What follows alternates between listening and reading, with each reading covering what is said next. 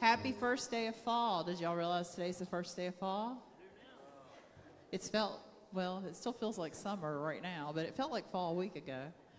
Just a couple of quick reminders for you. Um, if you have your alabaster offering, there is a, a thing out in a church or something out in the lobby foyer that you could put that money in.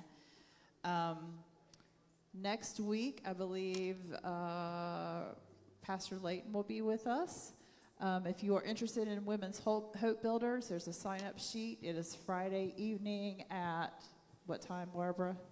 Barbara Keys, light. What time is Hope Builders?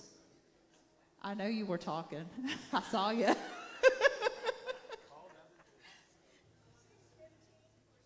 Six fifteen for snacks. Seven o'clock for the service. So, ladies, if you're interested in that, if you would give her um, your name out in the foyer so that she can prepare accordingly for it. Let's worship Him this morning.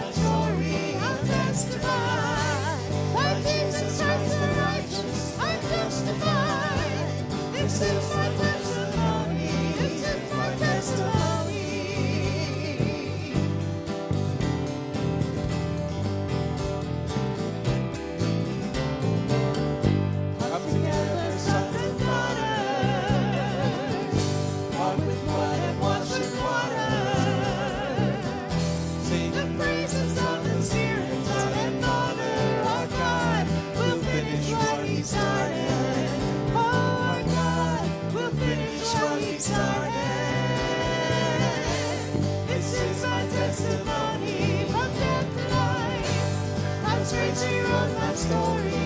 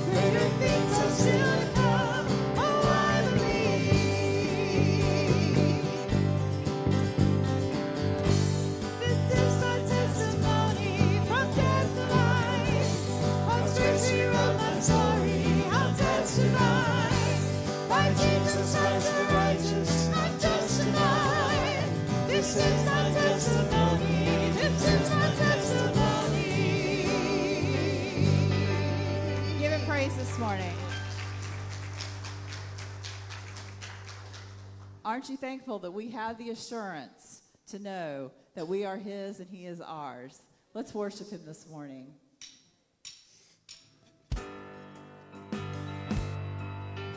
This is a little different than how we usually do it. So we're going to need your help here with some hand claps.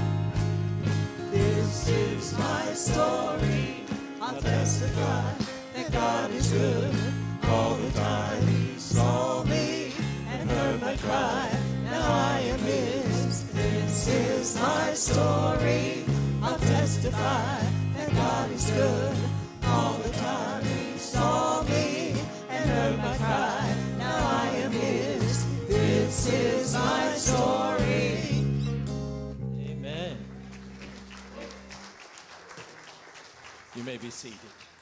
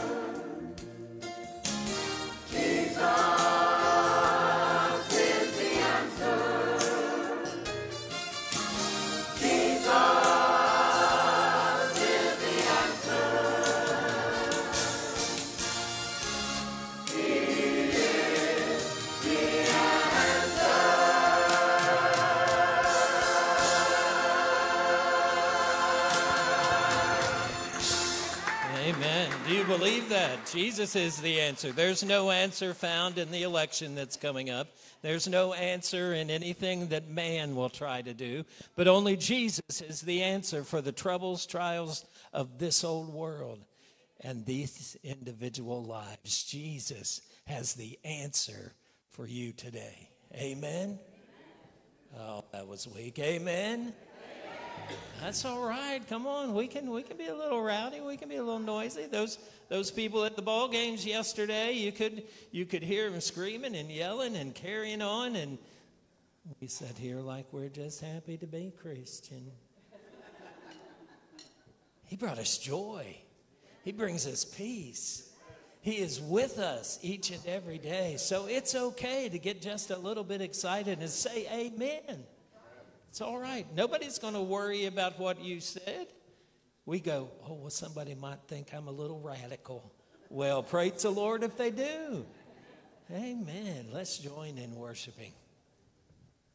His presence is always so real to us, and He's always in this place for us.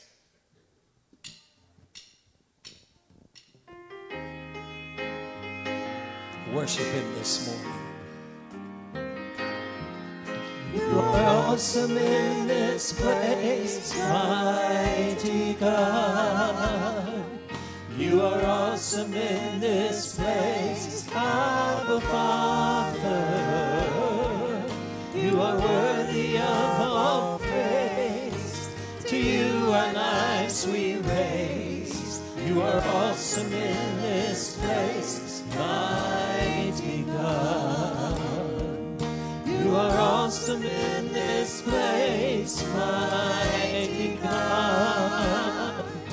You are awesome in this place, Abba Father. You are worthy of all praise. To you our lives we raise. You are awesome in this place, mighty God. As I Come into your presence, past the gates of praise, into your sanctuary, till we're standing face to face. I look upon your countenance, see the fullness of your grace, and can only bow down and say, You are awesome in this place, mighty God. You are awesome in this place, Abba Father. You are worthy of all praise. To you our lives we raise. You are awesome in this place, mighty God. You are worthy of all praise. To you our lives we raise. You are awesome in this place, mighty God. He is in this place this morning. Amen. Give him praise. It is good to be in his presence. And whenever we gather together, he says that he will be with us. I was so excited when I was sitting there listening to the choir. Most of you may know, or you may not know, but Roy Hoffman does the sound for us at the nine o'clock service at uh, First Church faithfully every week. He said, uh, I had to get a crane this morning, and I thought he was talking about Kathy. Uh, but uh, he said, I had to get a crane this morning because Kathy was determined to take our alabaster offering to church this morning. Said it was it was heavy. It was. I said, Kathy's coming to church, and he said, Yeah, she's she's bringing her alabaster gift, and she's coming to church. Well, I was waiting to see her sitting back in her normal place, and here she is in the choir. Praise the Lord. Praise the Lord. God has been with you. God has helped you, and God is good. Absolutely. It's been a long, long road, but uh, she knew that when she came back, she had to be used of the Lord in singing in the choir. Praise the Lord for that. We are blessed that God hears and answers all of our prayers, all of our concerns. I want to share with you uh, just a request this morning. Tom Tolliver, Mr. Tolliver, who goes to First Church. I think he's 91 years old, maybe 92. But he came in and he said, Pastor, I'm so heartbroken this morning. And I said, Brother, what's wrong? And he said, My wife and I, a few years ago, took a guy that was a drunk on the street corner. Said he'd come over to our house and he'd sit outside on the deck, and my wife would fix him a grilled cheese or some soup or he said most of the time he was drunk, but we kept loving him. And he said, and as time went along, his life began to change and transform because of the love of Jesus. Said he he he got a job. He's been working at the Kroger for some time has a girlfriend that they were planning on getting married here in just a few months. And said God had done just such a wonderful thing in this young man's life. And he said, I got a call this morning that he was dead. Just died walking down the street. He said, My heart's broken. You see, they lost their son not too long ago. And most of us understand that that's not the way it's supposed to happen. But he said, Pastor, I, I even just sort of questioned God, why? He was having an influence on other people's lives. God, why? He said, but I had to rest in the promise that God's ways are always the right ways. So, would you pray for Tom Tolliver and Phyllis? He invests in so many people on the west side. He's got him a little motorized scooter now. He rides from First Church down to Grace Church, but he won't leave till Phyllis gets in the car. She said, I wish he'd go ahead of me. He said, I'm afraid he's going to try to run me over. But he's still serving the Lord, still has a passion to see people come to know Jesus, even if it's inconvenient, even if it's out of their way. So pray for them. Pray for Glada as she's in rehab. She has a fractured pelvis. Pray that the Lord would help her and protect her. Would you just bow your heads?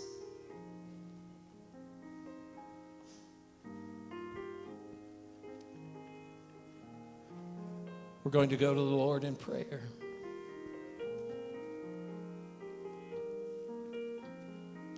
Maybe you just want to come and you just want to invite him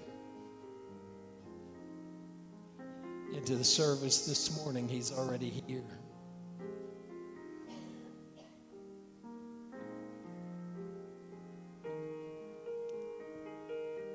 Lord, we sit in your presence.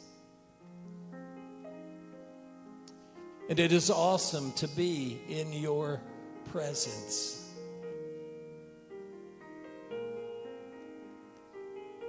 You invite us to call you daddy because you love us so much. You care about everything that we care about. And Father, sometimes, like with this young man, we don't understand. We can't make the pieces fit. But Lord, even in spite of circumstances, we have to realize and hold on to the fact that you are a sovereign God. That your ways are higher than my ways. That even though there are distractions, even though there are interruptions, Father, we have to accept them and realize that your timing is perfect, not mine. This morning, Lord, we just invite you into our presence. You've already ministered to us. And we know that you are the answer. And until we, as a, the United States of America, surrender to your power, the answers will never come. Help us, Lord, to realize that we need to depend on you more than we do our political party, more than we do the government, more than we, we do even the place that we work. We surrender ourselves to you. Be with Glada. Thank you, Lord, for touching Kathy and her being with us. Thank you, Lord, for her willingness to lift her voice to you in praise today. Continue to touch, continue to strengthen. Move on our hearts today. Remove the distractions. Father, we just anticipate your love flowing through us. We pray these things in the wonderful in the powerful name of our Lord and Savior Jesus. Amen. Amen. Aren't you thankful to know that if we come to Him, whether it's here or anyplace else, that He has the power to change us? Amen. That when we come into His house and into His presence, we don't have to bring our shame with us. We can drop it at the door because In the Father's house, He is willing to forgive and justify us. I think you need to stand to your feet. Yeah, feet. let's stand as we worship Him this morning. We've got to worship Him this morning. Make sure you listen to the words. Make sure you say the words.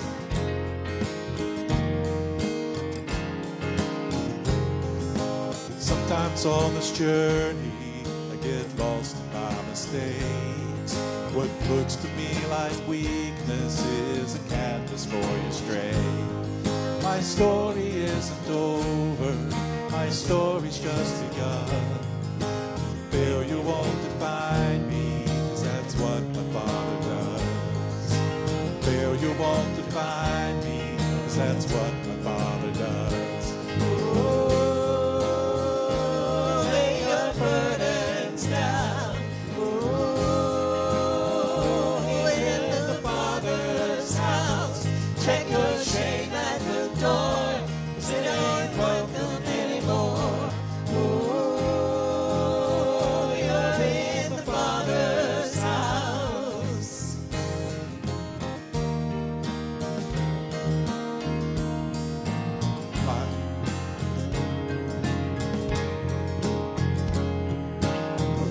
not the end game. The journey's where you are.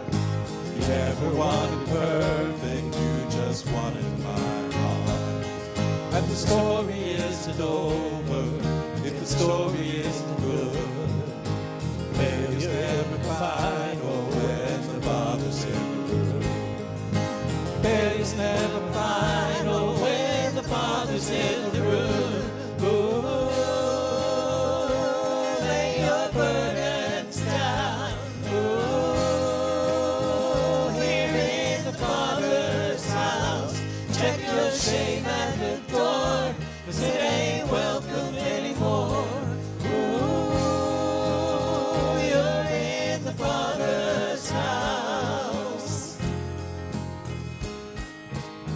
about these words.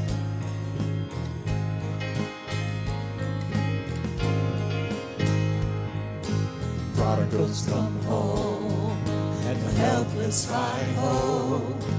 Love is on the move when the Father's in the room. Prison doors fly wide, the dead come to life. Love is on the move when the Father's in the room.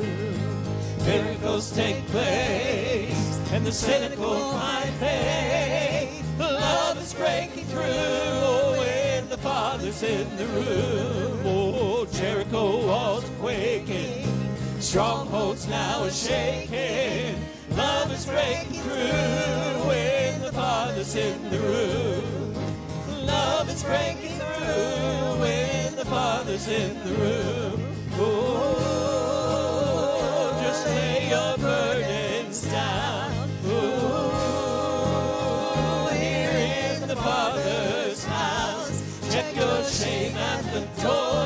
cause it ain't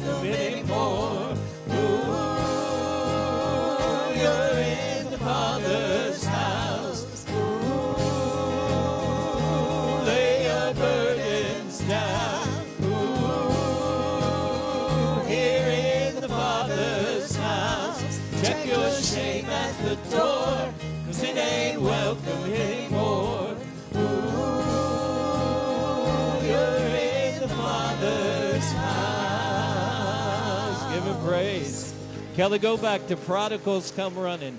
I, I don't think you were running. I don't think you were excited to think that you were once a prodigal. You were once a prodigal, and you had to come running to the Lord, where the helpless find hope, and love is on the move here in the Father's house. He is today. Let's sing that part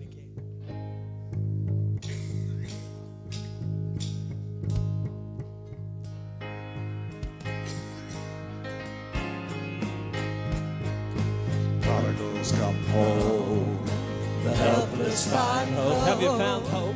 Love is on the move when the Father's in the room. Prison doors swing wide, dead come to life. Love is on the move when the Father's in the room. Miracles take place. Think about it. The cynical find pain. Love's breaking through the Father's in the room. Jericho walls are quaking. Strongholds are shaking. Love is breaking through when the Father's in the room. It's breaking through. Love is breaking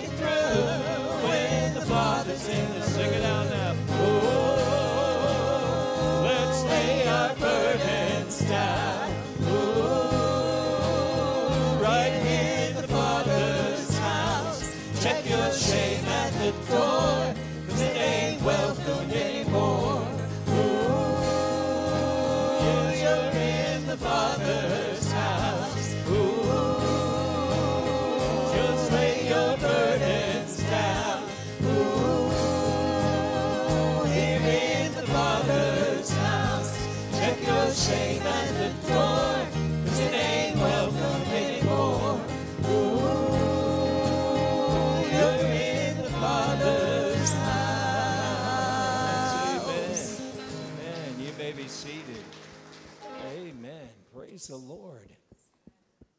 Love is on the move.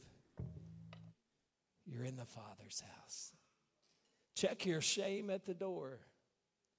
It's not welcome anymore. He's made provision. Amen. He has made provision. Amen. Amen. Well, praise the Lord. You look pretty good. You're welcome, Rusty. Thank you, Rusty. It is good to be in the house of the Lord. It is good to be able to worship Him in spirit and truth. It is good to realize that we have a church family that loves us and supports us in our times of need, but likewise in our times of joy. Hallelujah. In our times of joy as well. Well, let me just remind you of a, a couple of things. Ladies, if you haven't signed up for the um, uh, Women of Hope uh, service this uh, Friday night, make sure you do that out in the foyer. There's other things out there to sign up for, and you take advantage of those. And then also next Sunday, next Sunday, um, our district superintendent, you all know him. Uh, Brett Layton will be here for his annual visit and will be speaking uh, for us next Sunday. So, so be on your best behavior, okay? Be on your best behavior. I told him you would be okay, but uh, pray for him. Uh, Beth will not be able to be here with us. She is taking her father um, to see Amy uh, that next weekend. Her mother's coming up and some of the other siblings. Continue to pray for Amy as she uh, has the pancreatic cancer. Uh, pray that the Lord's will would be done, that the Lord would just help all of them. Uh, sometimes we, we forget. It's on our list, but sometimes we need to be reminded. Open your hearts to Angie as she comes to share with us. Kim. Sorry, you're not Angie, you're Kim.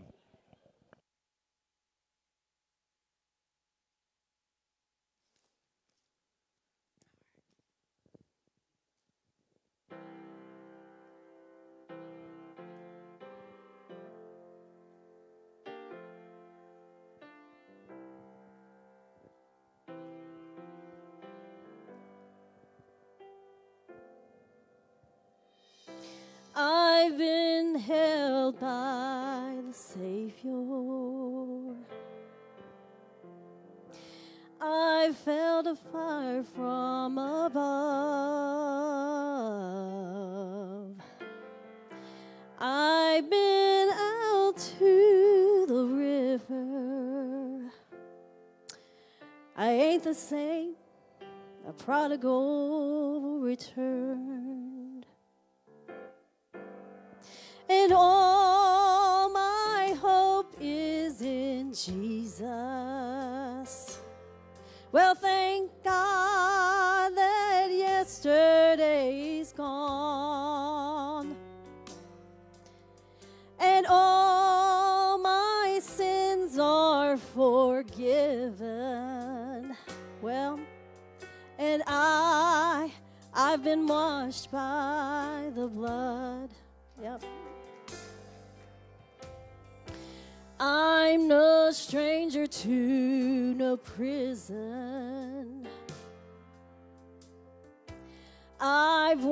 shackles and chains. But I've been freed and forgiven. I'm not going back.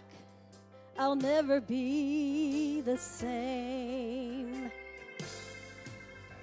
And all my hope is in Jesus.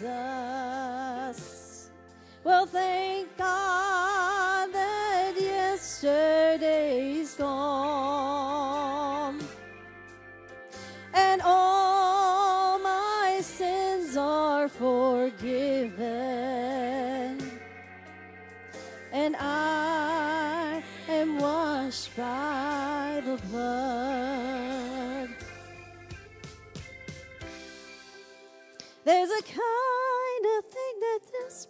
breaks a man,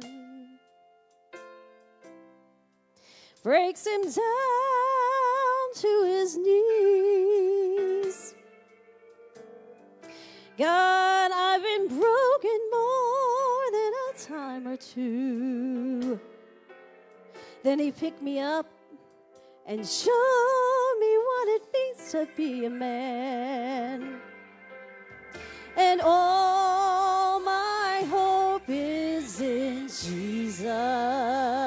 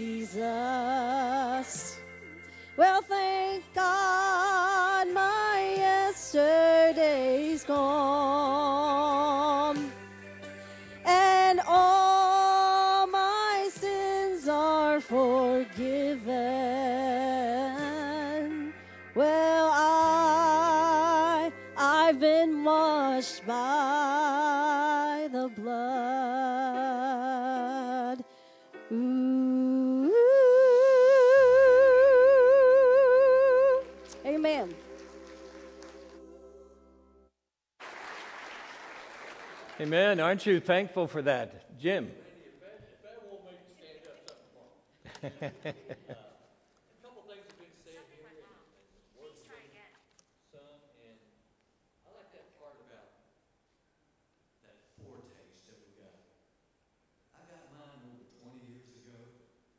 Amen. Amen. Praise the Lord. Sins are forgiven. They've been washed by the blood, and I don't have to remember them anymore. Neither does God. Neither does God. Amen. What a wonderful day to be in the house of the Lord. What a wonderful time to be together. Thank you, Kim, for, for that song and that reminder that all of our hope is found in one place. That's Jesus Christ. Thank you, choir, for reminding us that Jesus is the answer for what we are facing today, and that uh, He will be faithful and He will be true to us. Well, as we've been looking at uh, talking about the fact of, of are, are we any different as followers of Christ than the world? Do Christians look any different than those that we work with who do not profess anything? I think it's where we're coming to the place of wanting to be more like Jesus, wanting to come to the place of be filled with Him more and more to understand that we need to look more like Him than we do the world.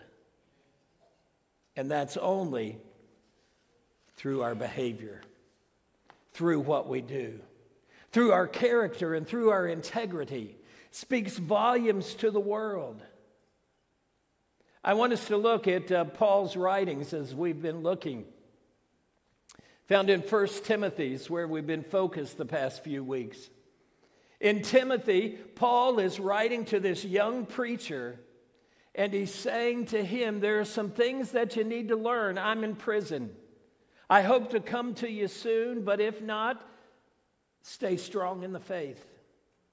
Don't go back to the things that you used to do. Don't go back to the things that used to appeal to you in your heart and in your life. But as Paul writes to him in the New King James Version, it, will say, it is translated, a few faithful sayings to hold in your heart as he writes to two young preachers, Timothy and to Titus. The very first thing that I want us to see is found in 1 Timothy chapter 1 verse 15. And it says, "This is a faithful saying and worthy of all acceptance."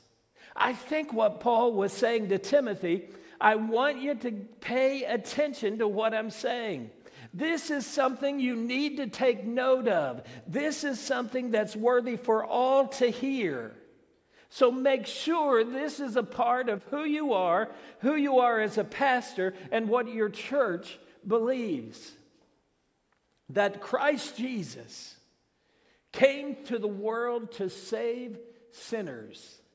And Paul says, Of whom I am the chief, of whom I was the worst. That he came to the world to save sinners. Now, when we begin to look at that and when we begin to understand what that scripture says, it's basically saying that Jesus came to save sinners. That's why he came as God man while he was born was to be a savior to the world. In that scripture, we find the word world, which refers to all humanity. It, it's not referring to, well, there's a select group of people that I came to save. It's not referring to, well, there are a few that I want to be a part. Paul is writing to Timothy and saying, make sure they understand that God sent his son for all humanity. Everyone, no exceptions. And he goes on, and in that scripture it says the word saved. Now, we who have been around the church, we who maybe have grown up and, and understand the fact that when someone stands up and says, I'm so glad that he saved my soul, I am so glad that I've been saved, if we say that phrase to some people who are, who are outside of these walls, the first question they're going to say is, Saved from what? You see, we have to be cautious in using the terminology that we know with those who don't know Jesus. So we can begin to understand the word saved as meaning a deliverer. I have been delivered from my transgressions, my sins, from the things that are wrong, from evil, or I have been rescued from all of those things that had control over me. You see, we need to understand the context with whom we're speaking. We think that everybody knows the Ten Commandments. We, we talked about that in the Gallup poll, and, and we think everybody knows the things that we know. And, and once we've been around the church a long time, we begin to think that everybody knows the same things, and why do we need to say them again? It's a trick of Satan because there's a whole world out there. Humanity is out there that is not heard fully and understands the Word of God. So we need to focus on our priorities, focus on what we are called to. Some churches today talk about their target audiences couple of particular churches that I'm aware of, they said, well, you know, we're, we're going after those 20 uh, year old to 40 year olds. And if, if those above that don't like what we're doing, that's okay. We're not the church for them. Well, interesting concept. They begin to market for those. They begin to, to do uh, uh, uh, smoke and lights, I call it. You know, it's, it's time for worship, so the, the house lights come down. Rusty's up there getting it on his guitar.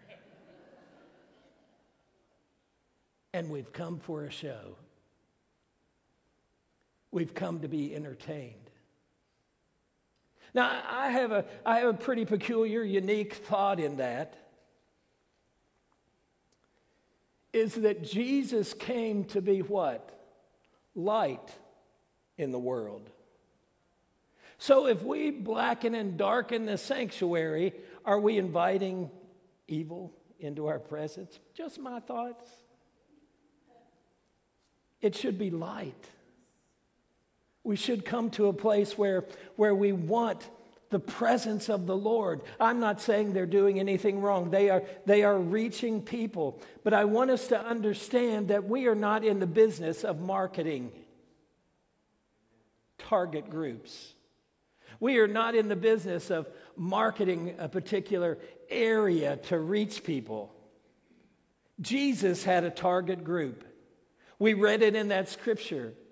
Jesus' target group must be the same that ours is. His was that he came for sinners, he came for the lost, no matter their age, no matter their race, no matter anything about them, rich or poor. Jesus came for all.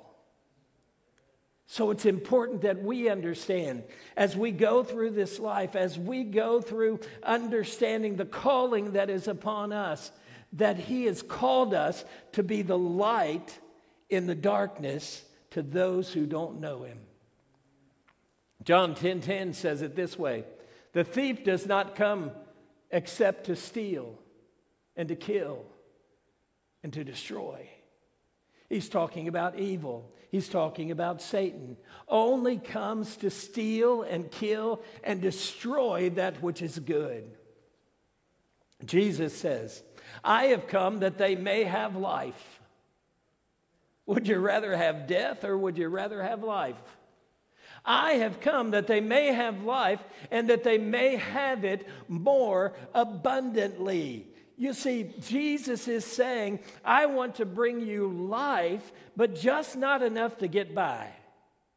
I want to fill you to overflowing with my presence, with my being with my spirit. I want to give you life that just overflows and people just are drawn to you because of the presence of the Lord.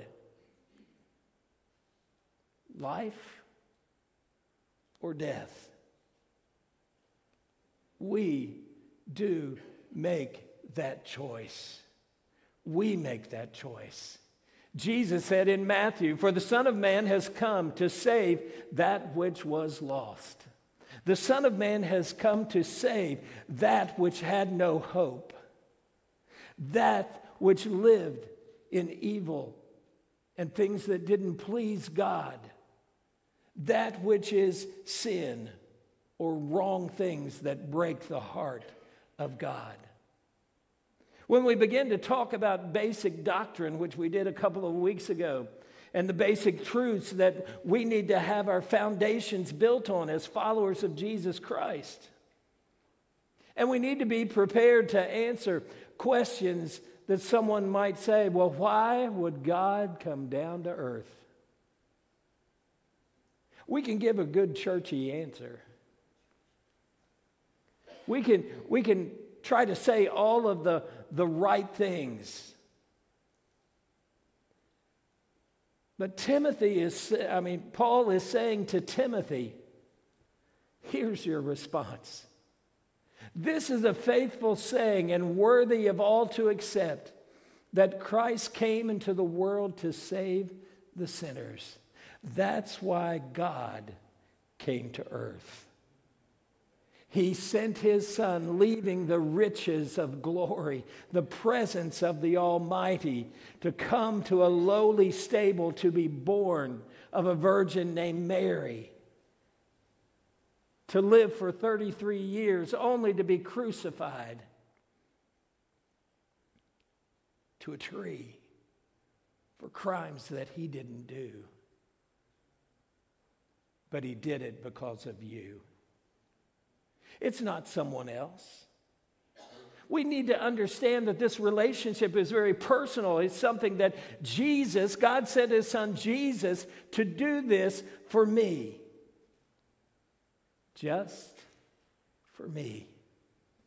If I had been the only one, I firmly believe he would have sent him that I might have life and have it more abundantly.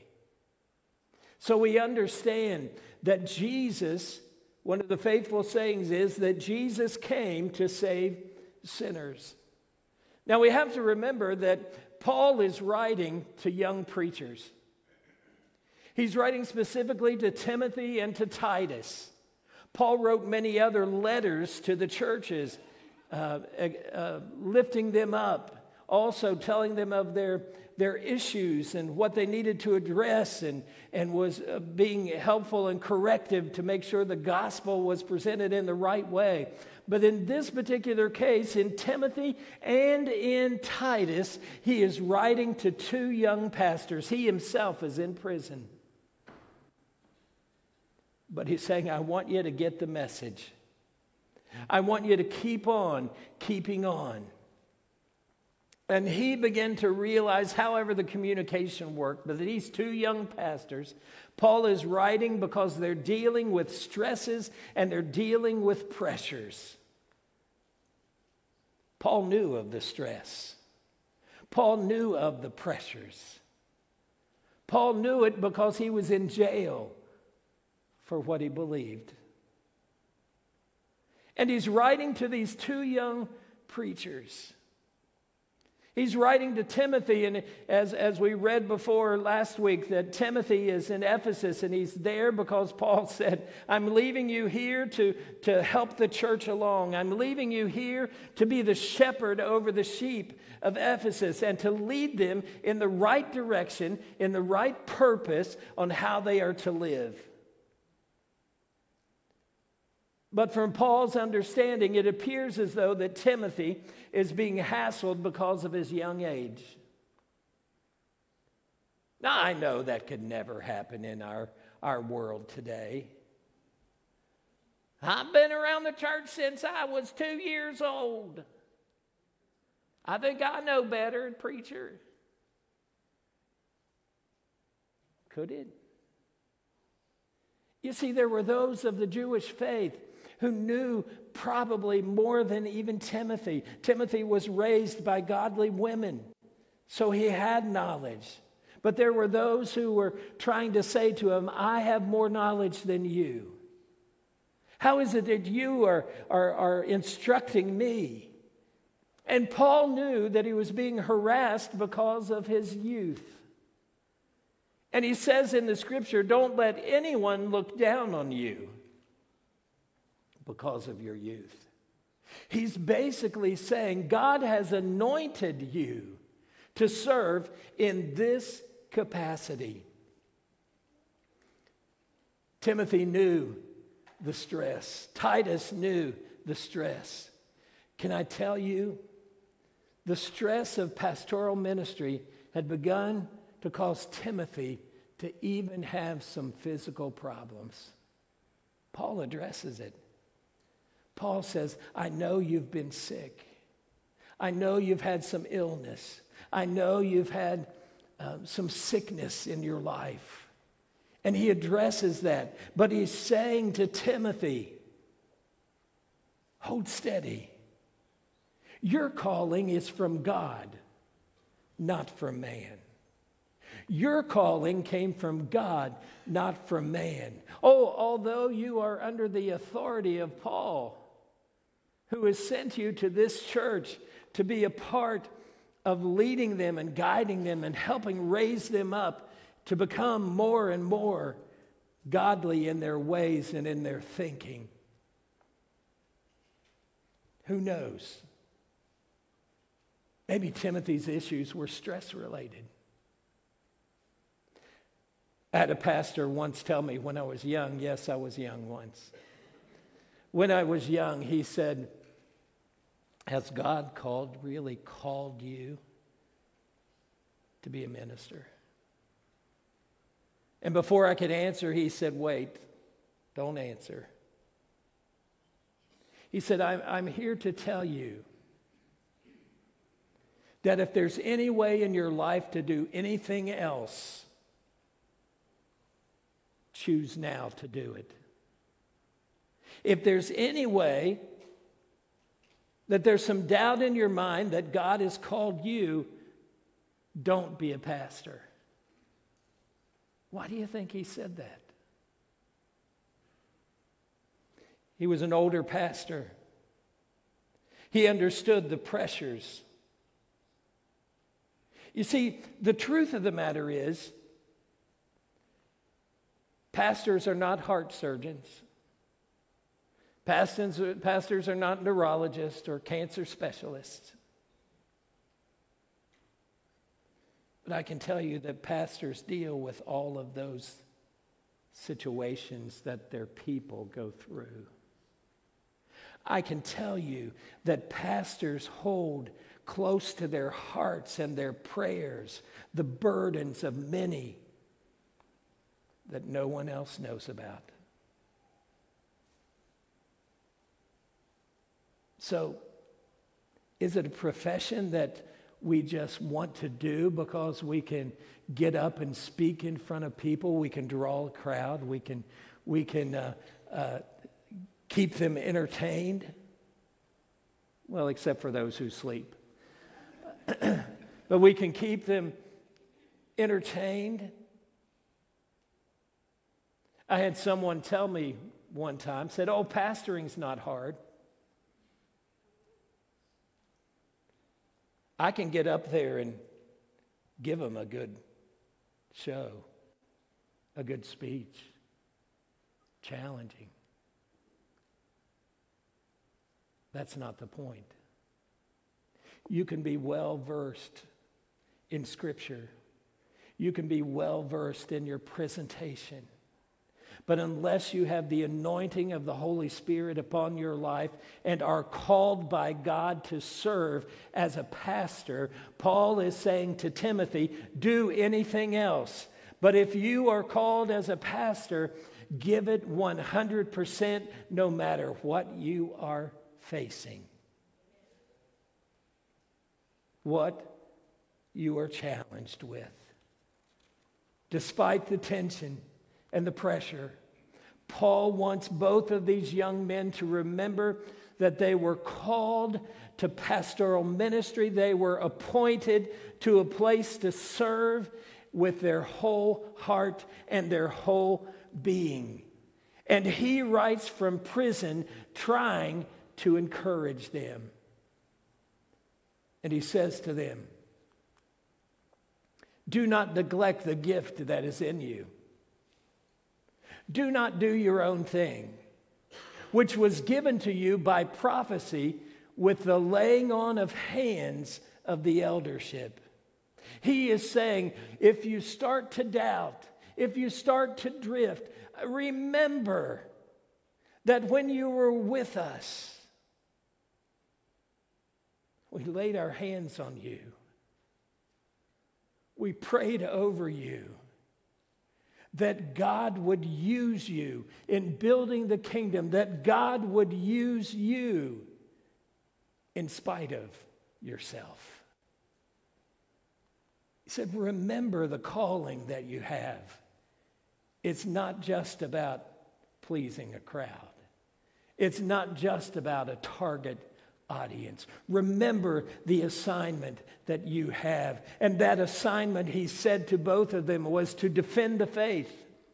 Now, I'm not talking about arguing, I'm not talking about debating, I'm talking about standing for the truth and preaching the truth. Protect the teachings that have been passed down to you. Remember, in the, in the Old and, the, and in the New Testament, rather, there wasn't the Bible, there wasn't the printed word. It was taken from Paul to Timothy, and Timothy would, would teach it to those who were uh, growing in their leadership. It had to be passed down, and it had to be a very personal relationship.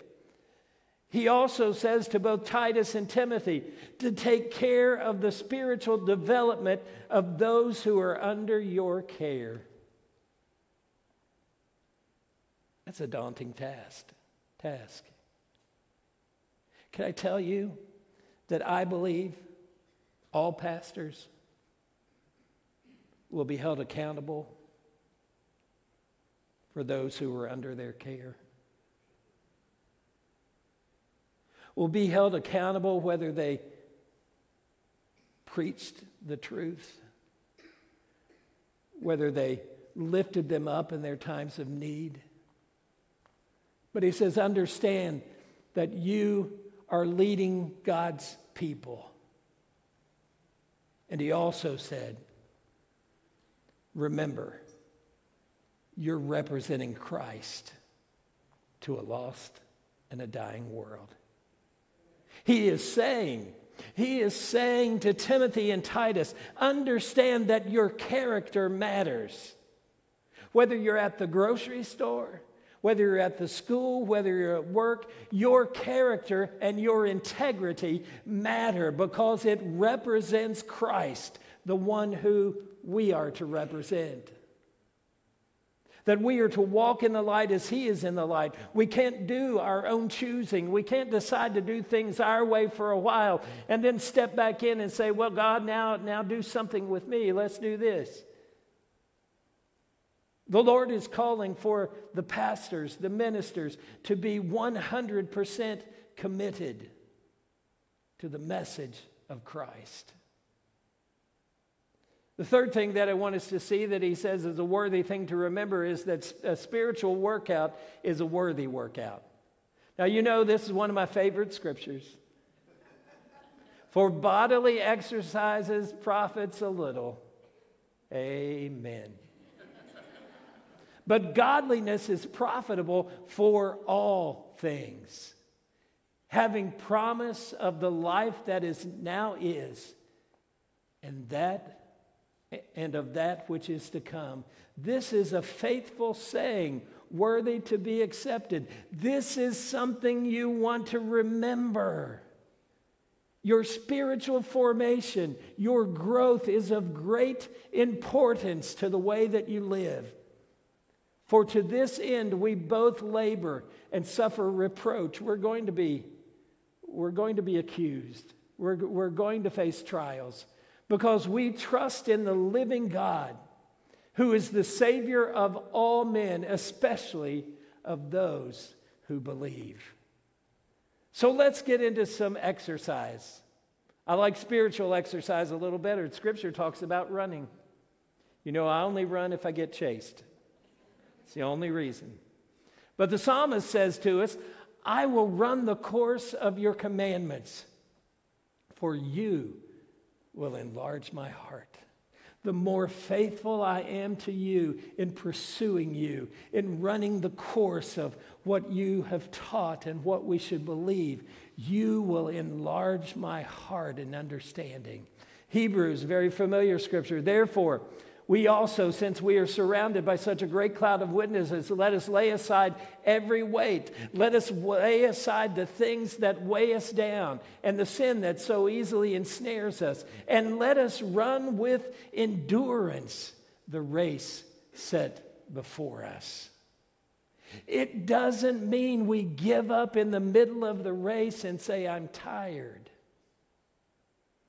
It means we keep going even if it's just one foot in front of the other, knowing that we're called to live for Him. Also talks about walking. I kind of feel the same way about walking. We walk by faith and not by sight, helping us to understand that we walk in faith, that we won't always see and understand the things. And in Galatians, he says, I say then, walk in the Spirit and you shall not fulfill the lust of the flesh. He's saying that there is a way for you to resist temptation, to remain faithful to the Lord. For when I walk in the Spirit, it will not direct me to things that will cause my pathway uh, in my pathway cause me to stumble. He will lead me in ways of righteousness. Walk in the Spirit in all things. As you therefore receive Christ, Jesus the Lord, so walk in him. If you've received him into your life, it's not a matter of coming and sitting on a pew and saying, Okay, Lord, try to move me. It's a matter of saying to the Lord, I am here. I want to walk with you on this journey we call life. First John says, he who, he who says he abides in him ought himself also to walk just as he walked. It means that we have a desire to become more and more like Jesus in our actions, in our attitudes, in the way that we raise our children, in the way that we do things in life, that we are constantly aware of Him. Now, that's supposed to say, I'm not sure what it's supposed to say. There we go. Where are we? Imitators of God. This is a translation problem. So, our sacrifice is a sweet aroma to the Lord when we walk in Him. The other exercise is that of jumping. Do we need to practice jumping this morning? I didn't see any hands volunteer. Um, I, I used to hate jumping jacks. Anybody do? I don't even know if they still do them. And they still do them, Liam? Yeah, yeah, no. Um, it says, "Blessed are you when men hate you." That's encouraging, isn't it? And when they exclude you and revile you and cast your name as evil for the Son of Man's sake. Rejoice in that day when you're being persecuted. Rejoice in that day when they speak evil of you. And then he says, leap for joy. Some of you haven't leaped for a hundred years. Matter of fact, I saw, I think it was on YouTube or something, where they challenged some older middle aged adults to skip through the office. Have you tried it lately? Seems like something you should remember to do, wasn't it? They, you should look it up. It's peculiar. Rejoice in the day and leap for joy. There comes a time in our lives, and, and I'm old enough to remember that in the camp meetings and even in church services, when we weren't so reserved in how we worship the Lord, that there would be one who would come down the aisle kicking his legs, praising the Lord with his hands raised high, because he was filled to overflowing in the presence of the Lord, but we're much too dignified He says, Leap for the Lord in your joy. For indeed your reward is great in heaven, for in the manner their fathers did to the prophets. Talks about lifting. Liam plays football. Do you have to do weightlifting? No. Good for you, buddy. Uh, but we need to understand we have a responsibility of lifting the Lord high lifting him high. To you, O Lord, I'll lift my soul. Lift your hands in the sanctuaries and bless the Lord.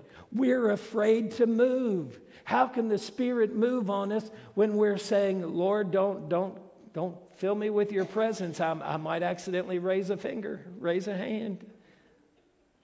You know, we, we'll sing the old song, uh, Let's just praise the Lord. Let's lift our hands toward heaven, and then everybody gets freedom. Oh. Everybody's doing it. Brandon, Mavis, I appreciate you being obedient in the Spirit, and when you want to praise the Lord, feel free to lift your hands at any time because it's not for attention. It's not for something just for show. It's in full reverence of the Lord, acknowledging him for who he, who he is. Timothy says there in chapter 2, verse 8, I desire therefore that men pray everywhere. You'll notice there are those who come to the altar every Sunday during our prayer time. I didn't tell them to do that. I don't ask them to do that. But they come and they want to bow in the presence of the Lord, seeking Him and His goodness. And it says, lifting up holy hands without wrath or doubting. Do you know the interesting thing about lifting up holy hands? You see, uh, I don't think doing this is lifting up holy hands, right? You've got to open them or turn them up to receive. It indicates that I'm giving away everything of me, and I want more of you. So, a spiritual exercise is that of, of uh, lifting. And yes, the Bible says you can dance. Now you, you think about you think about the old days. You think about old Elk River. You think maybe about the church that you grew up. There were those who strutted down the aisle just praising the Lord. I can remember some little old ladies.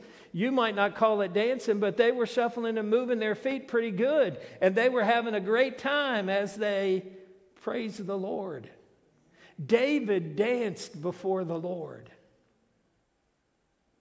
Now, now we're not talking about doing the hoochie coochie and all that kind of stuff. We're talking, yeah, it says my age, doesn't it? Uh, we're talking about being in the presence of the Lord, and if you can't even hold your feet, you can't even keep your feet still. I've seen Barbara Light when the Lord is upon her, she begins to just sort of march and dance around and her hands lifted high. It's nothing for Barbara. It's not about Barbara, but it's about that she feels and senses the Holy Spirit so strongly that she's got to move.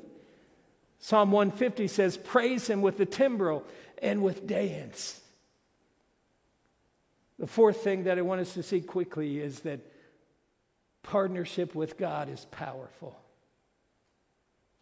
Here he says it again. This is a faithful saying, so we need to take note of it. If we die with him, we shall also live with him. If we endure, we shall also reign with him. If we deny him, he also will deny us. If we are faithless, he remains faithful. He cannot deny his own character. He cannot deny himself. If we die with Christ, we live with him. That's the resurrection partnership that we have with Jesus, and that's powerful for us to understand. If we endure with Christ, we will reign with him. And that's the regal partnership that's powerful that we belong in the presence of the Almighty. But if we are faithless,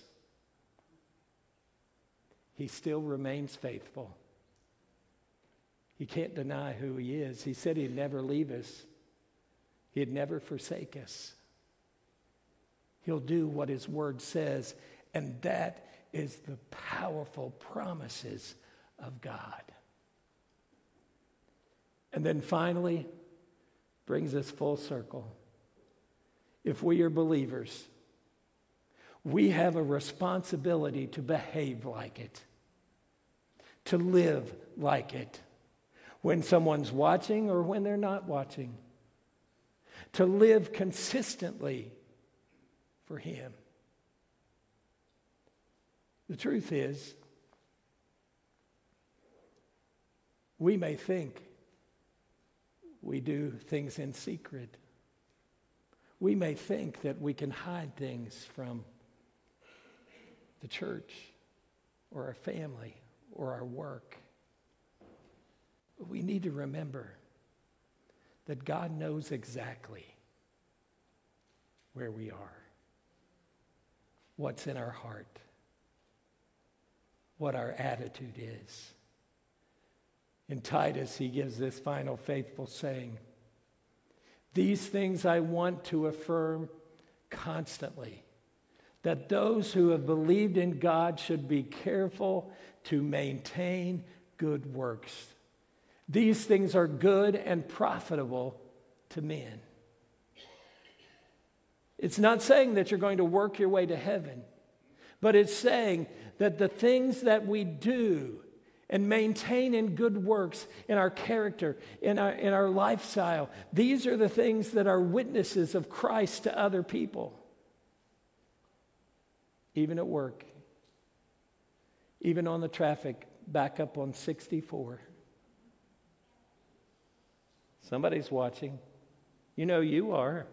You're looking over there to see what's going on next to you. and They see your rage.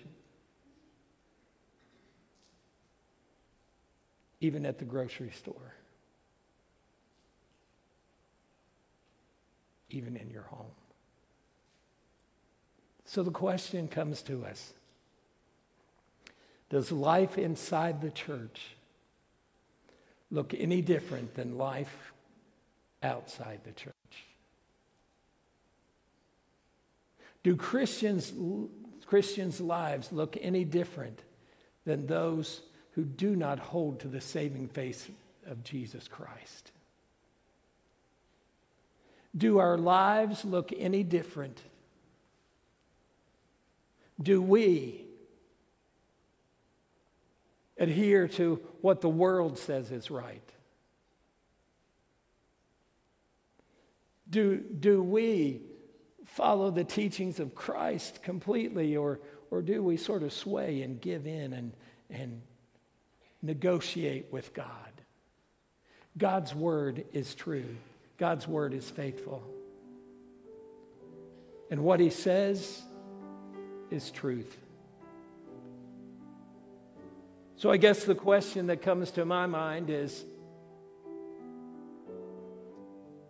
Are you becoming more and more like Jesus? Or are you becoming stagnant in your relationship? Are you becoming more like His presence filled with Him?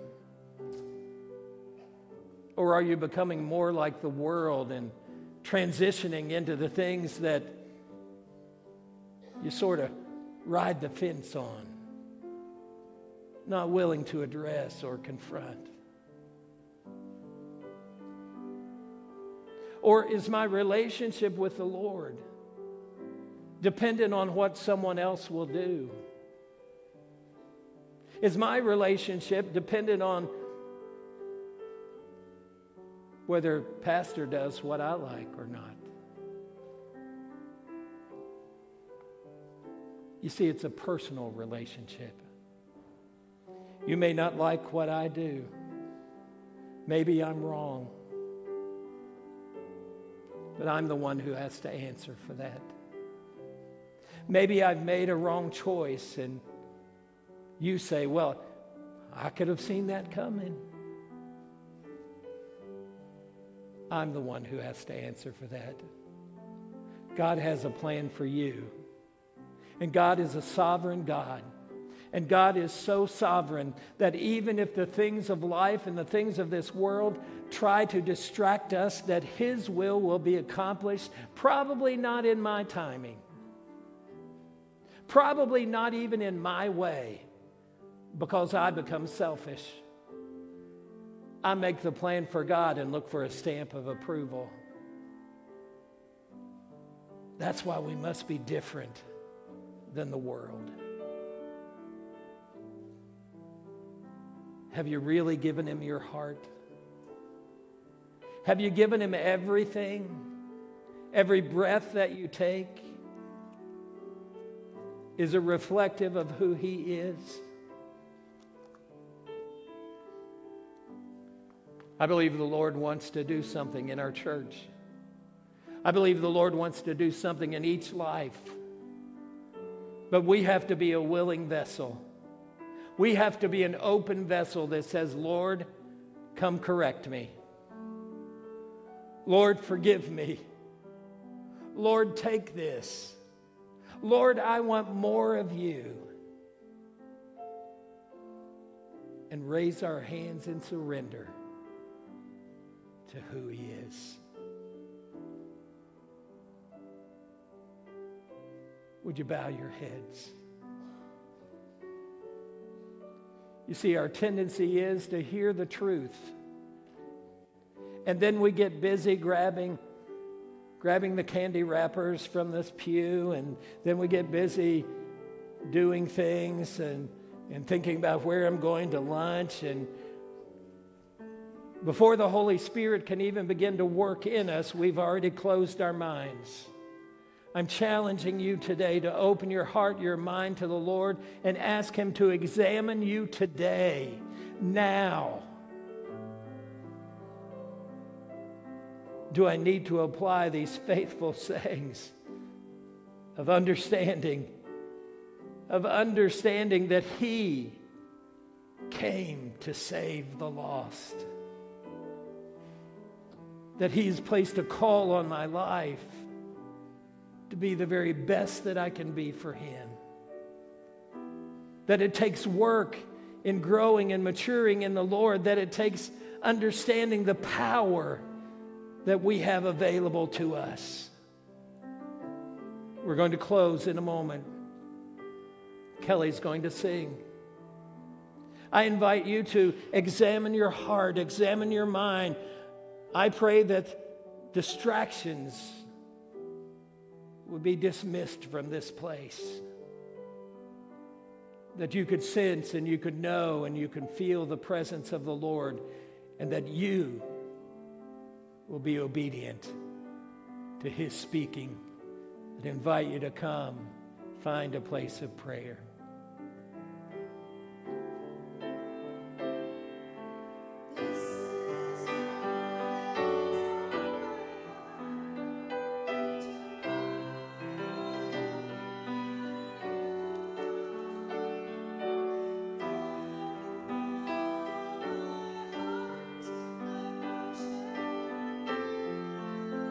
Worshiping Him with all of your heart, with all of your soul, with all of your mind? Is your desire to follow Him above everything else?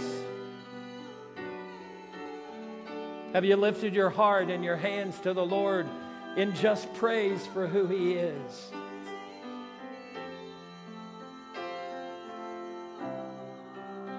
Will you give Him your heart?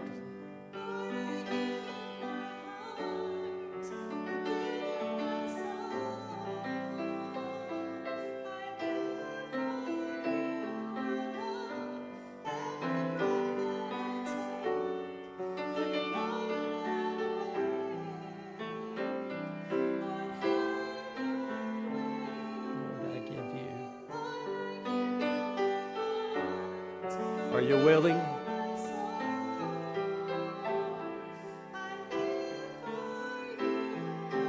Every breath you take,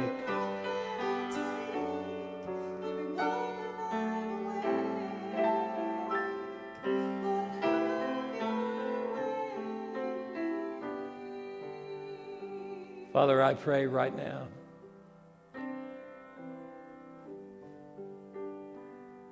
I believe there are some who are battling within their spirit a battle of surrender.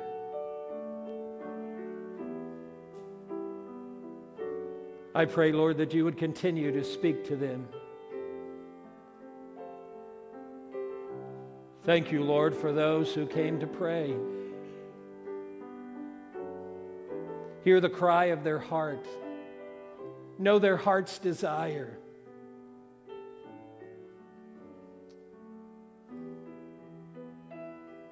We want to give you our hearts.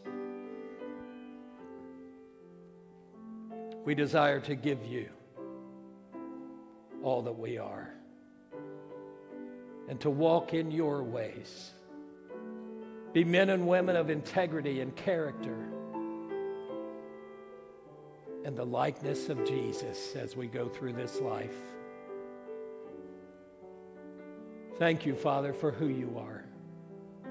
Thank you for your word. Thank you for your writings through Paul to these two young pastors. Thank you, Lord, that they didn't give up.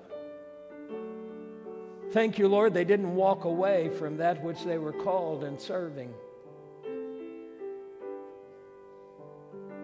Thank you that we have the Word of God to lead us, guide us, and direct us. We pray these things in the wonderful name of our Lord and Savior, Jesus Christ. Amen. Amen. Would you stand with us? May the truth that Christ Jesus came to save sinners fill your hearts with love and grace, and may you never neglect your calling to show Jesus to a dying world. Go now in peace, knowing his salvation is for you and for all who believe, and live and behave according.